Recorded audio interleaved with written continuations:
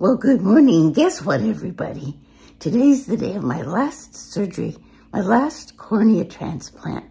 And, you know, that means I'm going to have some recovery. Three days flat on my back, and who knows what's going to happen. And, you know, here it is Christmas time, and next week's Christmas. But what a nice, nice Christmas present.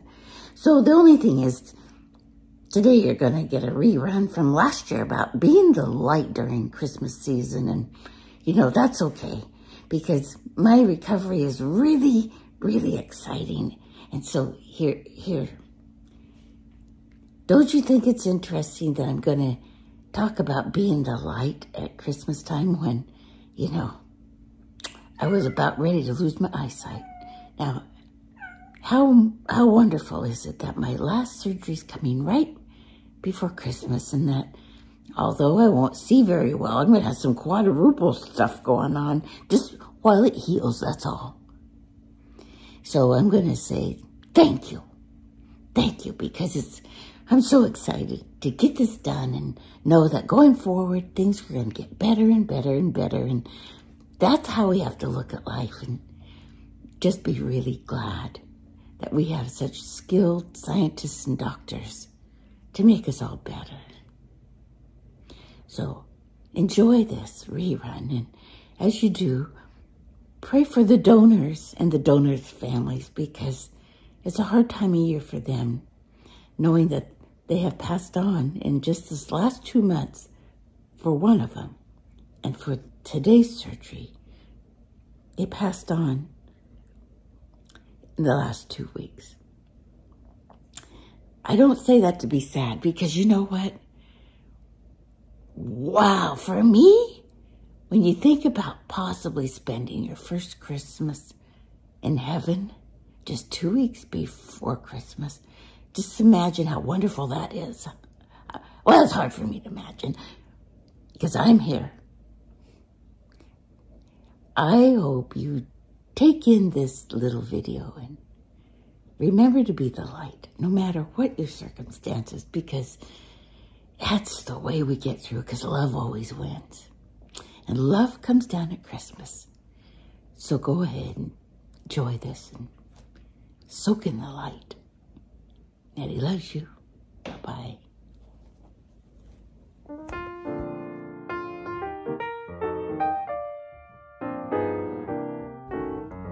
Well, hi, everybody. It's Nettie. And guess what? It's Advent. I'm just so excited it's been kind of a whirlwind two weeks coming back from Mexico and taking care of my grandkids and somehow Thanksgiving happened and here we are.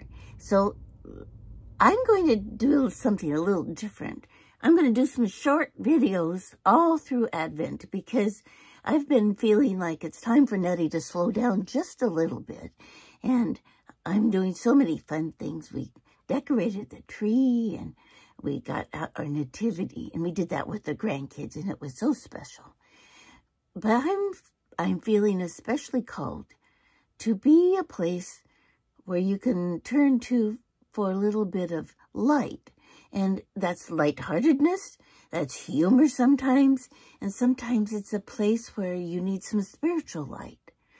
Just a little oomph. And you know, it's no, it's no secret that Nettie loves God and that Nettie gets her her prompts from God. And, and you know, I'm not sure where everybody's coming from right now, but it kind of doesn't matter because we all need the same thing. We all need love and light, and we all need some healing. And so this is the perfect time of year. We always talk about slowing down and not buying so much and not getting involved in the hustle and the bustle, but you know, you have to be intentional to do that. So I'm just going to say a few words about that today, and then we'll kind of add on to it here and there.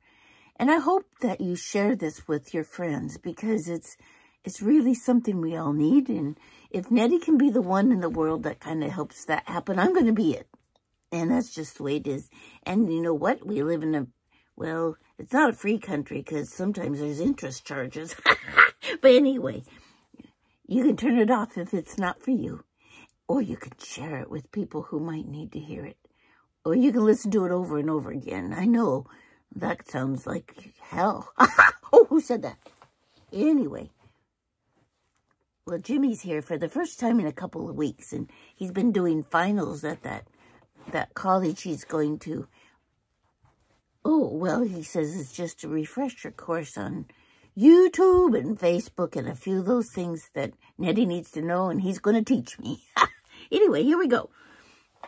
Light is kind of a common theme when we're talking about so many different things. I mean, in the Bible, for example, it's always about shining your light and being the light to the world and and not fearing darkness, but being willing to sit in the dark and be be there to sense the light or be the light to somebody else. It is not just the Christian faith. The Christian faith has a lot of that in there, but if you were to take the time to Google all the different faiths that look at light as somewhat of a light, a life force. There's a lot. Buddhism and, you know, look at the symbolism of the light in, uh, in the Jewish faith. And I, I, I'm not, I don't know a lot about all different faiths, but I know that from the very beginning, the sun was a huge, huge message to people. We could not live without sun, and we cannot live in the dark for long. So with that in mind, I'm going to share just a couple of things. I don't think it's an accident that during during Advent this year, the, the United States especially is in kind of a dark place. And it's questionable as to who's right and who's wrong and who's fighting and who's not and who's on your side. One thing I know for sure is only, only love is what's important. In, and in my faith, light is the symbol for love. And so you'll hear Nettie talk about it a lot, but we're told not to hide our light, that to stand firm and shine our light to others so that they can see it too. So that's what Nettie does. And that's what I plan to do forever until the day the light takes me home. So what we need to realize is that there are things we get pulled into. We, we know in our gut when things are right and when they're wrong. But all we have to do is place ourselves in just a small amount of time in a little room on the beach, taking a walk, place ourselves in the light. It is healing. When we do that, we can ponder and discern what is right and what's wrong around us.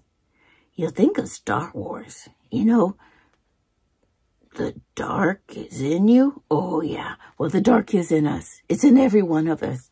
And, you know, use the force means use the light. Those sabers aren't for nothing. You know, when you give your kids those Star Wars toys, that's not a bad thing, but teach them that that message in Star Wars that, you know, we need to fight the dark. We need to understand the dark.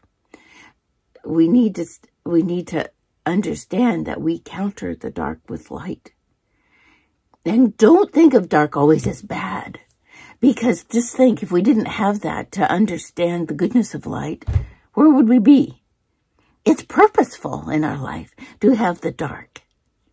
So in Advent, the people had been walking in the desert forever. They were in darkness.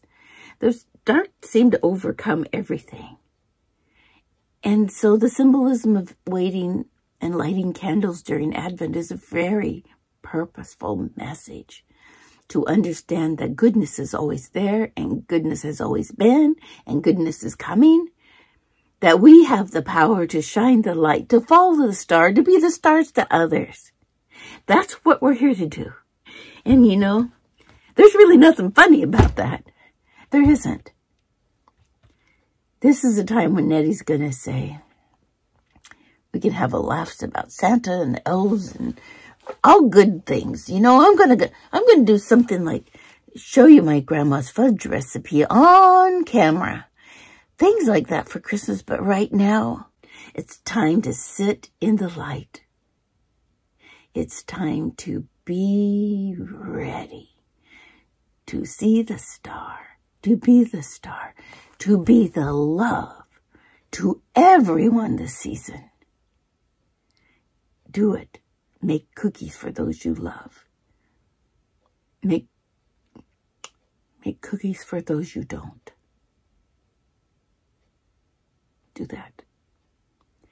So for now, I'm going to sign off. I, do, I want this to be a little bit shorter than it is because you know what? I want you to tune in every time. I want you to have the time to take the message in every, every day of Advent. For now, be the light. Be the star. Be the first responder in love. You know, sort of like the shepherds were.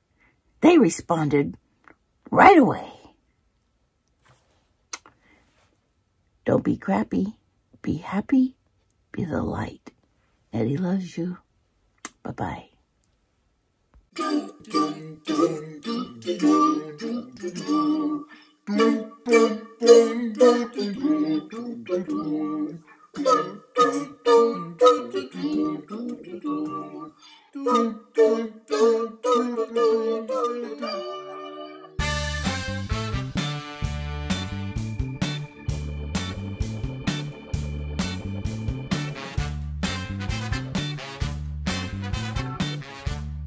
Oh, you know the ticket. Remember to subscribe and give me a thumbs up. Thank you.